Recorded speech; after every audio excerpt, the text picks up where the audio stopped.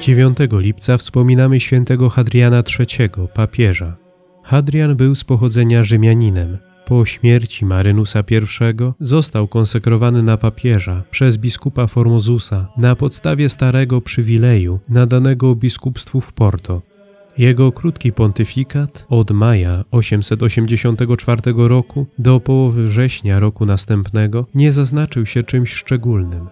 Dość surowo potraktował siejących niepokój, natomiast z dworem bizantyjskim utrzymywał stosunki poprawne. Wezwany przez Karola Otyłego, by obsadzić na nowo stolicę biskupie w Niemczech oraz uporządkować sprawy sukcesji cesarskiej, udał się na północ, ale w drodze zachorował i w Spina Lamberti zmarł we wrześniu 885 roku. Pochowano go w opactwie Nonantolo, koło Mantui. Tam też przez wieki żywy był jego kult, zaoprobowany oficjalnie w roku 1891.